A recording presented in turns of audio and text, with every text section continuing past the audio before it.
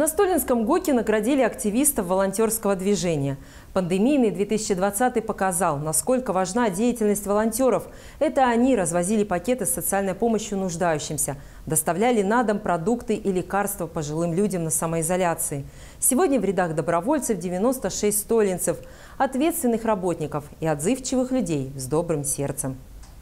Чествовали активистов корпоративного волонтерского движения с соблюдением всех санитарно-эпидемиологических норм и правил. Лучших добровольцев отметили в семи номинациях. 2020 год, он у нас связан с пандемией COVID-19. Если бы нам сказали о том, что он будет такой, наверное, слабо кто поверил бы. И в этот период особенно потребовалось как раз участие волонтеров для поддержки наших и бывших работников, наших ветеранов, и тех, кто в первую очередь, э, к сожалению, заболел ковидом, кому была необходима поддержка. Поддержка и с точки зрения финансовой, и с точки зрения продуктовой, и самое главное, самое главное, конечно, человеческое.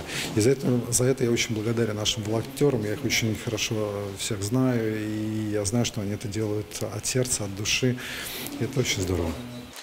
Дипломами и благодарностями за личный вклад в развитие волонтерского движения, за активное участие в акции «Мы рядом» были отмечены 14 столинцев.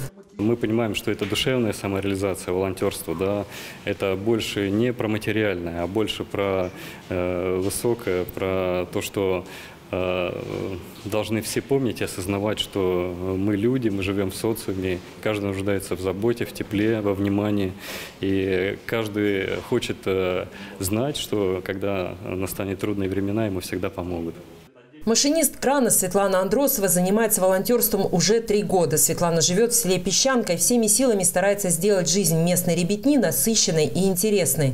За два года ей удалось реализовать два грантовых проекта при поддержке благотворительного фонда «Милосердие». Площадка для мини-футбола и арт-холл «Семья» в местном ДК стали любимыми местами отдыха селян. А Светлана Андросова теперь носит гордое звание «Волонтер года Столинского ГОКа-2020». Возможность участвовать и в грантах, и как бы это и интересно, и в то же время мы с помощью этих грантов помогаем жителям. По велению сердца я занимаюсь. Мне очень приятно, когда я, есть возможность, и у меня получается это. Мне нравится этим заниматься, нравится помогать людям, заниматься детьми.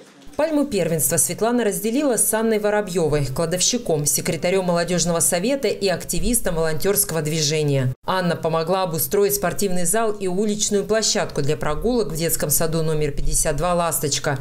Ее проект «Постарайся сделать счастливым того, кто рядом с тобой, и ты будешь счастлив сам» вошел в число победителей грантового конкурса «Стальное дерево». А еще Анна теперь знает точно, что добро обязательно возвращается. Мне нравится это, и когда я сама попала в трудную жизненную ситуацию, более как бы полгода назад, Столинский ГОК также меня не оставил и как бы помогли мне. Ольга Шалыгина, Алексей Грачев, Ирина Чуликова, Девятый канал.